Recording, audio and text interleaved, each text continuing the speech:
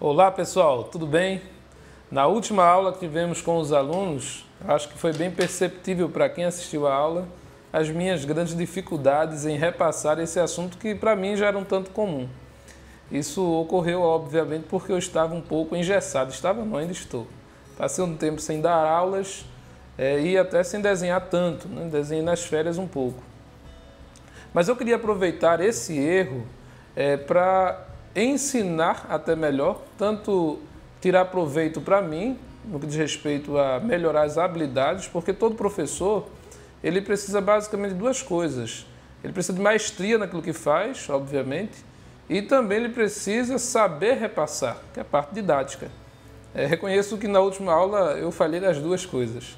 Mas eu quero aproveitar esses erros, sim, foram erros, eu não fiz propositalmente, mas eu quero aproveitar esses erros para ver, ensinar a vocês como é que vocês podem se autocorrigir. Então vou mostrar os erros no meu desenho e vou mostrar o que é que eu estava preparando, o que é que eu observei que tinha que ser melhorado. Mas o ponto aqui não é você ficar atento aos erros que eu cometi, mas é que você aprenda a fazer as correções no seu desenho, ok? Porque tudo na vida é assim. Nós precisamos nos concentrar não nos defeitos dos outros, mas nos nossos, correto? Então vamos lá. Então nós temos aqui o desenho de perfil do rosto feminino e é importante dizer o seguinte: o rosto tem um padrão fixo. Então, independente se é homem, se é mulher, se é branco, se é negro, vai ser sempre esse padrão. Mas há as características de cada indivíduo, então vai mudar pouquinha coisa entre um talvez um nariz um pouco mais para frente, outro mais recuado, lábio mais carnudo ou menos, essas coisas vão ter diferença sim, ok? Então vamos lá. No caso do desenho aqui, é, eu tinha feito, por exemplo, o nariz um pouco mais para frente. E o que é que eu fiz aqui para poder entender o que é que eu precisava melhorar? Né? Você primeiro vai fazer essa linha aqui vertical. E como é que você vai fazer essa linha vertical? Aproveite a aresta da folha. Então você tem a folha aqui, ó. Então você vai pegar essa linha que vai ser no lábio dela. Essa linha deve estar no lábio. E o mesmo, a mesma distância que tem daqui para cá, você vai colocar em cima e vai puxar uma linha reta. Outra maneira de fazer isso com um compasso. Você vai pegar a distância do canto da folha para o lábio, marcar em cima e novamente descer uma linha reta. Ok? Essa linha aqui vai ser o principal é, guia nosso. Né? É tanto que no esboço nós chamamos de linha guia mesmo. Então você vai ter essa linha aqui. Outra coisa muito importante é a distância do queixo para o nariz. E essa distância vai mandar, né, vai ser o nosso tamanho padrão. Ela vai determinar aqui, ó, que daqui para cá vai ser igual aqui e vai ser igual aqui, certo? É, por causa do ângulo da câmera pode mudar alguma coisa quando você olhar, por isso que eu vou mostrar com compasso. Então do queixo para o nariz Outro traço aqui, ó, vai ser na sobrancelha, o outro aqui, que é a testa. Essas três linhas são essenciais que você faça corretamente para poder fazer a correção. Então vamos lá para a correção em si. O que é que essa linha aqui vai me mostrar? Primeiro a distância, daqui para cá, que é bem pouca. Então o nariz eu já corto aqui, não aqui como eu havia feito. Você observa agora no seu, qual a distância daqui, ó, dessa linha, para o seu, para a ponta do seu nariz. Está correto? Está mais para lá, mais para cá? Teria que ser aqui, ok? Agora, olha a distância aqui, ó, da minha testa para essa linha. E olha o que eu fiz aqui. Então, teria que recuar. Eu vou recuar a testa na altura ali da sobrancelha. Fiz ali o, a curva aqui do nariz. Ótimo. Então já modifiquei mais meu desenho, certo? Então daqui, ó, para cá é o mesmo tamanho que daqui para aqui. Ou seja, forma um quadrado. Esse quadrado também vai ser essencial, você vai perceber isso. Por que, que ele é essencial? Porque eu vou dividir ele no meio aqui, ó. E depois que eu dividir no meio, eu vou dividir no meio de novo, nesse cantinho. O que é que ele vai me dar? Ele vai dar aqui ó, a distância do nariz, da asa do nariz. Então eu coloco aqui. Ele também pode me dar, tanto essa linha quanto essa, eles podem dar-me aqui a distância dessa linha aqui da íris. Veja que eu fiz aqui na frente. Mas agora com essa linha eu vou fazer uma melhor posição. Então faço aqui. E a altura do olho, será que está certa? Aí como é que eu vou achar essa altura do olho? Eu vou dividir esse quadrado aqui, ó, vou dividir para aqui pela frente, em três partes iguais na vertical. Como seria isso? Faço aqui uma linha, outra linha. Então daqui para cá tem que ser a mesma distância daqui e daqui. Eu vou conferir agora. Já peguei o compasso, já botei na medida, então ó, um, dois, três, tá certo. Eu irei prolongar agora essa linha aqui, ó.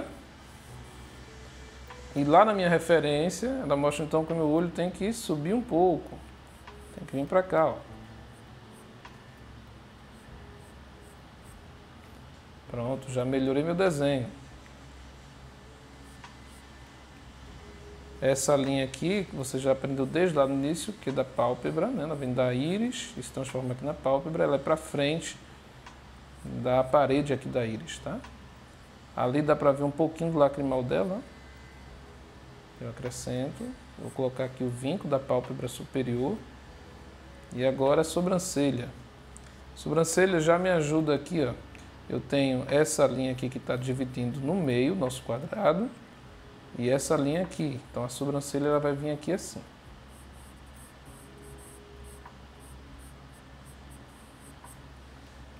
Prontinho. Já tenho ali o lugar da sobrancelha. Vou agora para a fossa nasal. Eu tento reparar aqui a altura. Ó. Daqui eu faço só esse tracinho assim, ó. E pronto. Então dê um close agora aqui no nariz para você poder pegar bem aqui as partes, ó. Fossa nasal, não encosta nessa linha, não encosta aqui.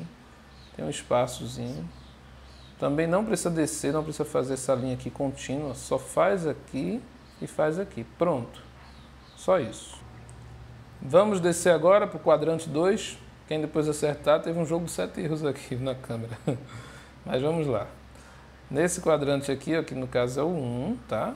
Aqui é o 2, aqui é o 3. Deixa eu colocar aqui só por causa da minha câmera. Mais um, aqui 1, 2, 3. Então vamos agora trabalhar essa parte 1. Lembrando que essa parte 1 é igual a 2 aqui em altura e em largura, ou seja, aqui é um quadrado aqui é outro quadrado também. Então, vou descer aquela terceira linha, aquela quarta linha, né? Se eu dividir esse quadrado aqui, ó, no meio, no meio de novo, aí desci essa linha aqui. O que é que eu tenho? Vou olhar lá na minha referência, ó. A boca é um pouco para cá. Pronto. Agora eu vou dividir essa parte igual essa daqui, ó, em três partes iguais. Eu já medi, já conferi.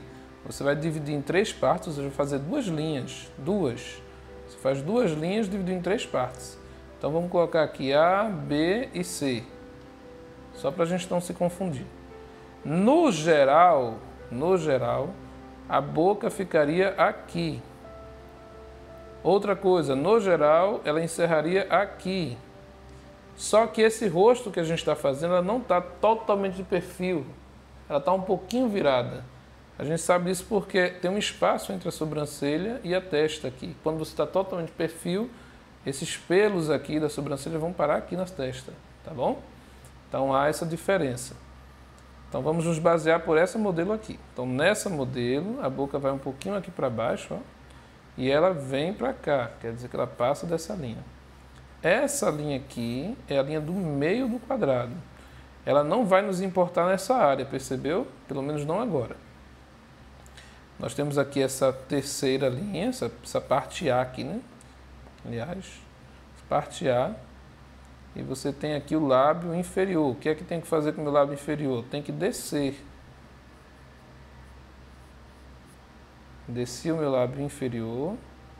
O queixo, ó, é nessa linha. Olha que linha importante essa daqui. Nela tem muitos pontos, né? Então coloquei ali e vou dobrando o queixo já aqui para dentro para tocar nessa linha aqui, ó. Nós falamos que não era tão importante assim aqui, né? Tá ali. Bem, então eu tenho uma parte, duas partes, três partes. Duas partes, três partes. É, o que é que eu tenho agora de importante? Se eu pegar esse tamanho total, para isso eu vou pegar um palitinho aqui de churrasco, churrasco eu já comi. Vou marcar aqui, ó.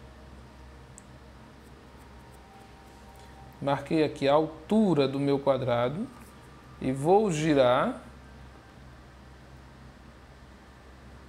Girei ali e marquei aqui, ó.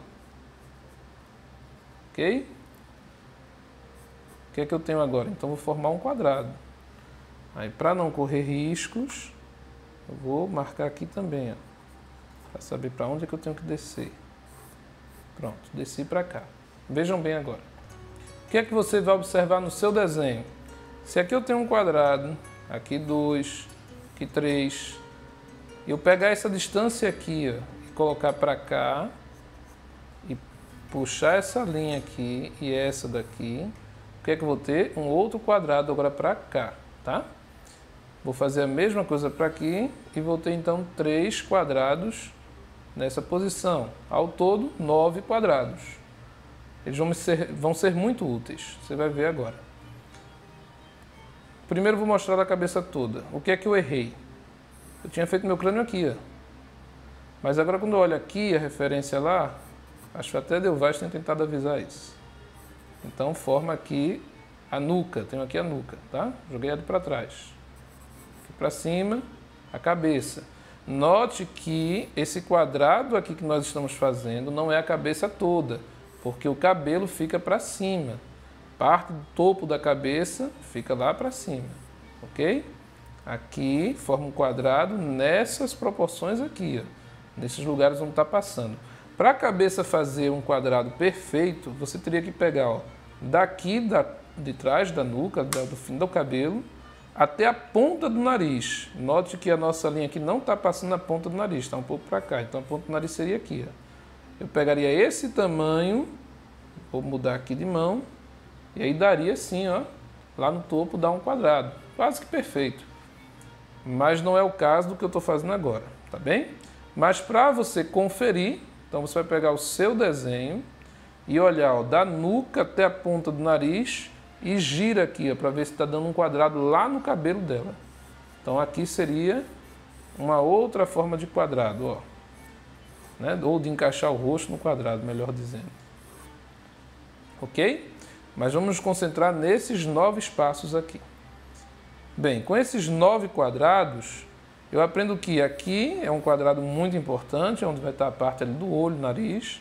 Para cá agora, a orelha. Olha a minha orelha, que erro que eu cometi. Ó. Precisava vir um pouco para trás. Também não foi um erro tão gigantesco assim. Ela está com a cabeça inclinada para baixo um pouco. Então a orelha dela cai para aqui. Você deve lembrar que a orelha ficaria no normal, na altura da orelha, mas dela está mais para baixo. Como desceu aqui, aqui também desce. Então a orelha vem para cá. Ó. E daí então o brinco. Ok? Aqui você vai ter a, a parte do queixo e o galo cantando. Parte de trás aqui do pescoço que é onde a gente daqui a pouco vai começar a sombrear. Esse daqui a pouco é daqui a muito, na realidade. Então tenho aqui a distância, começa a conferir visualmente a distância da orelha para a nuca. ah, parece estar tá um pouco demais aqui, exagerado, tal. Você vai começar a observar isso.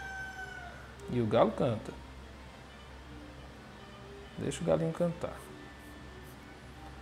Prontinho. Agora joguei aqui ó, um pouquinho para baixo, só a sobrancelha. No geral, tá ótimo. O que é que eu faço agora? Paro, levanto, bebo uma água, volto para o cenário depois, com outro olhar, para poder perceber se o desenho realmente está nos conformes, como diz o outro. Ok? Então essas são as dicas que eu tinha para dar até então desse desenho. Espero que você consiga deixar nesse nível. Não fique se contentando de, ah, eu já corrigi um pouquinho. Dá uma olhada no vídeo, vai fazendo as correções, porque nós temos a nossa próxima aula. E se você quiser saber mais como é o nosso curso de desenho completo, acesse nosso site que é o www.estudiofranca.com.br. Até mais, um abraço para todos. Quer saber mais? Acesse agora o nosso site www.estudiofrança.com.br. Venha conhecer as técnicas do desenho realista esse é um curso para todas as idades. Com o plano Premium, você recebe todo o material com frete grátis para qualquer lugar do Brasil. Ou você pode escolher um dos planos que caiba no seu orçamento. Aqui você tem uma descrição completa do que irá receber em cada um desses planos. Estou lhe aguardando. Venha fazer parte dessa turma.